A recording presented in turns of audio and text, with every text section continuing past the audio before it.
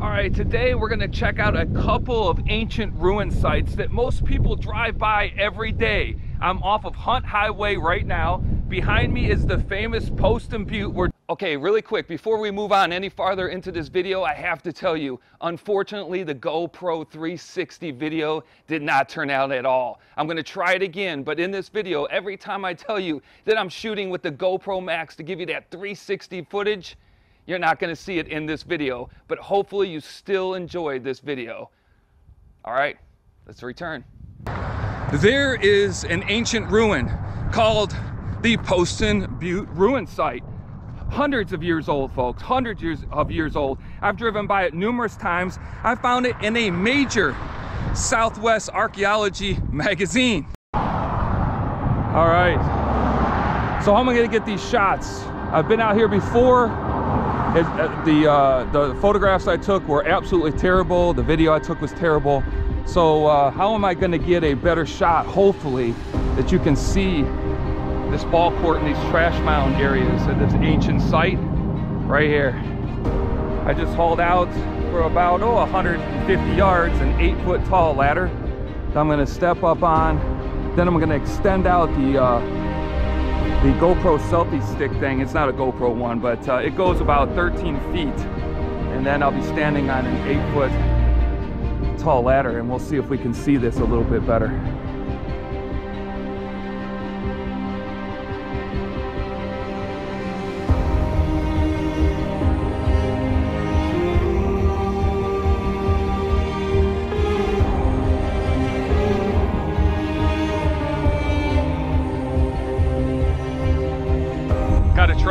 Behind me.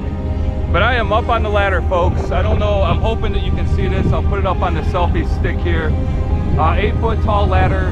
Just did the GoPro Max 360 footage. Hopefully it comes out.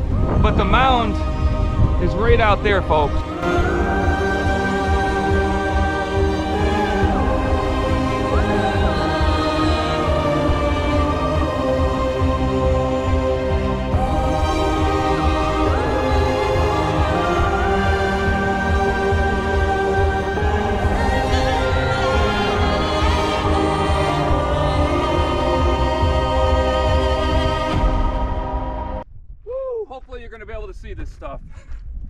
I don't know, we'll see. What the average person has to go through. We have to walk with ladders, stay on the right side of the fence in order to see these unbelievable ancient ruin sites that truly and honestly you wouldn't even know that we're there because there's a group of individuals that like to hide this kind of stuff. They don't want to tell the public, they don't want to educate the public.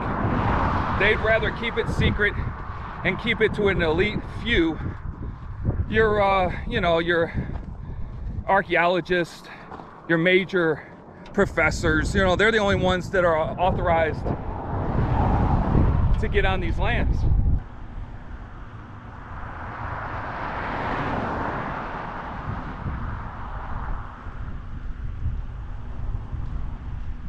I didn't realize how far I parked the car. All right, on to the next site. Whoo! Just made it back to the car, got the air conditioner blast and go uh, just up the road about five miles to another spot that people pass every day. Um, there are three really unbelievable places over there. There, the uh, Florence Mound is over there. There's a ball court, there's trash mounds. Now all this is off limits to the public, of course, off limits to the public. Um, we'll talk about that when we get over there. Stay tuned. All right, the next stop, Adamsville Road and the 287, right by the historic marker for the Adamsville ghost town It's right here.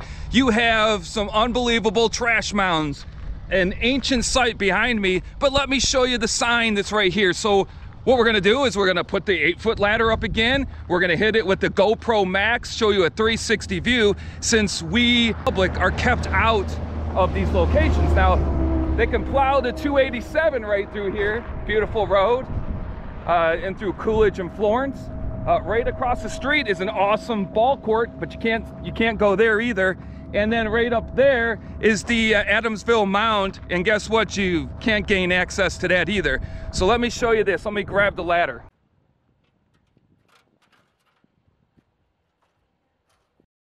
Here's a sign. Here's a beautiful gate. Looks brand new. Here's a sign. Try to call the number. They won't have any information for you. Okay, again, this is where I try to get that 360 video with the GoPro. Unfortunately, it just didn't come out.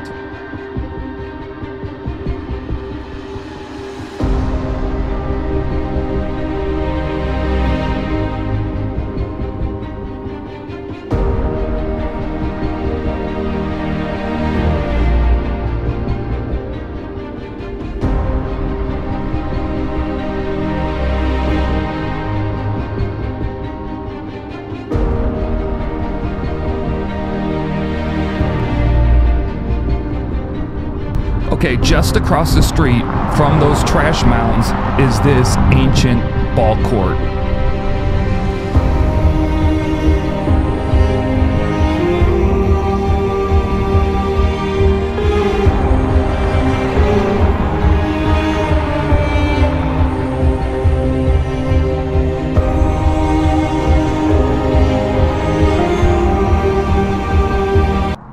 Heading over here to the Adamsville Mound right off the freeway.